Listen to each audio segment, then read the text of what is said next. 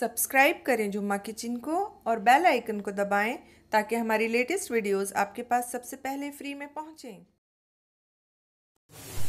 Hello friends welcome to Jumma kitchen. आज हम अपने किचन में बनाने जा रहे हैं एक स्वीट डिश और उसका नाम है मखाने की खीर। ये खीर बहुत ही हेल्दी होती है और ट्रेडिशनल जो चावल वगैरह की खीर होती है, उसकी तरह ये बहुत ज़्यादा टाइम नहीं लेती पकने में। तो इसको बनाना बहुत आसान है तो आइए हम इंग्रेडिएंट्स देख लेते हैं। तो ये मैंने दो कप मखाने लिए हैं। ये देखिए, इस तरह के फूले फूले मखाने हैं ये। और वन थर्ड कप मैंने चीनी ली है, यानी एक चौथाई कप से ज़्यादा और आधा कप से कम। वैसे चीनी आप अपने टेस्ट के अकॉर्डिंग ले सकते हैं। एक चुटकी मैंने लिया है इलायची का पाउडर थोड़े से मैंने ये जाफरान के धागे लिए हैं, ये ऑप्शनल है, आप चाहें तो लें, आप चाहें तो स्किप कर सकते हैं। एक टेबल स्पून मैंने लिए है किशमिश, एक टेबल स्पून मैंने लिए हैं पिस्ते, इनको मैंने काट लिया है, एक टेबल स्पून काजू और एक टेबल स्पून ही मैंने बादाम लिया है, इनको भी मैंने बारीक काट लिया है। तो ड्राई फ्रूट्स ऑप्शनल है, आप चाहें तो लें, आप चाहें तो स्किप कर सकते हैं, या फिर आप अपनी पसंद से कोई भी ड्राई फ्रूट्स ले सकते हैं। तो दूसरी तरफ़ मैंने दूध को बॉईल करने रखा है। एक लीटर मैंने फुल फैट दूध लिया है और उसे मैं बॉईल कर रही हूँ। तो ये फुल फैट दूध है। कोई भी खीर या हम स्वीट डिश बनाएँ तो कोशिश करनी चाहिए कि दूध अच्छी क्वालिटी का हो फुल फैट हो। तो दूध में बॉईल आ गया है। अब मैं इसको लो फ्लेम पर इतना पकाऊँगी कि ये थोड़ा सा गाढ़ा हो जाए।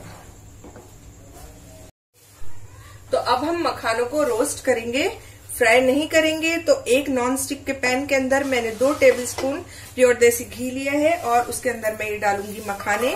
और मखानों को हम ऐसे भूनेंगे कि ये जो है बहुत अच्छे कुरकुरे हो जाए और इन पर हल्का सा लाइट गोल्डन कलर भी आ जाए।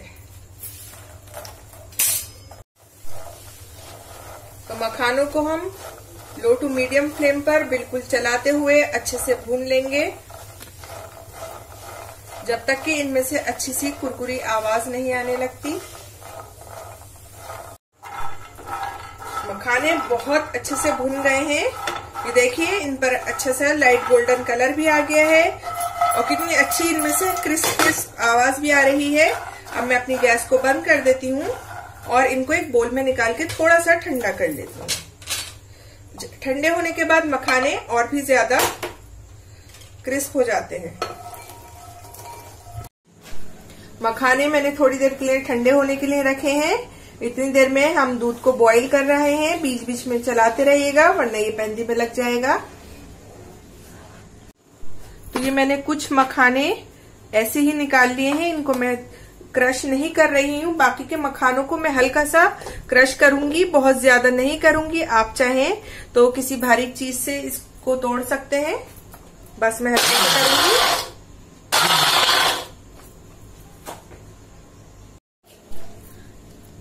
तो ये देखिए, मैंने मखानों को दर दरदरा सा पीस लिया है। कुछ मखाने इसमें थोड़े कम टूटे हुए हैं, बाकी के टूट गए हैं। तो दूध हमारा अच्छे से बॉईल हो गया है थोड़ा सा गाढ़ा भी हो गया है। अब हम डालेंगे इसके अंदर ये मखाने। इसको पकने में बहुत ज़्यादा टाइम नहीं लगेगा।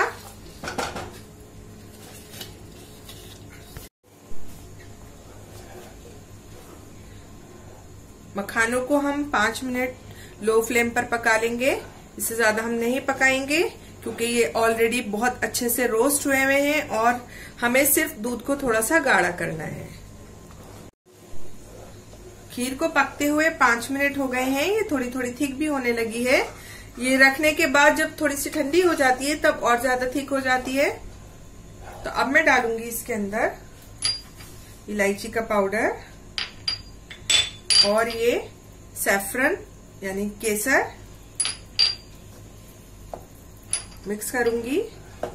और और साथ ही में मैं डाल देती हूँ चीनी। चीनी आप अपने टेस्ट के अकॉर्डिंग ले सकते हैं। मिक्स करूँगी।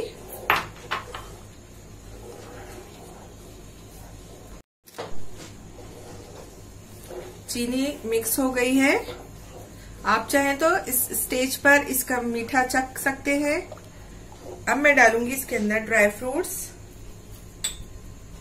तो ये मैं डाल रही हूँ काजू। थोड़े से मैं गार्निशिंग के लिए बचा लूँगी। ये मैं इसलिए डाल रही हूँ पहले से, ताकि ये थोड़े से सॉफ्ट हो जाए। वरना आप इनको ड्राई रोस्ट करके या फिर थोड़े से ऑयल के अंदर या फिर घी के अंदर भी रोस्ट करके डाल सकते हैं। और ये किशमिश। किशमिश हमेशा धोकर डालनी चाहिए। अब मैं इसे इतना पकाऊँगी कि ये थोड़ी सी गाढ़ी हो जाए। तो मखाने की खीर हमारी तैयार हो गई है। ये देखिए, काफ़ी ये थिक भी हो गई है। अब हम अपनी गैस को बंद कर देंगे और इसको थोड़ा सा ठंडा होने देंगे।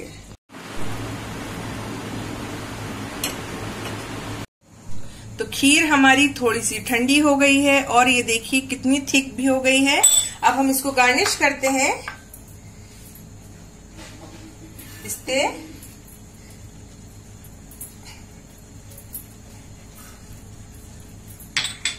काजू।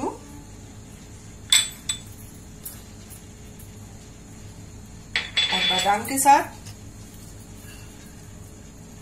और साथ ही में हम डाल देते हैं ये फ्राइड मखाने, ताकि पता चले कि ये मखाने की खीर है।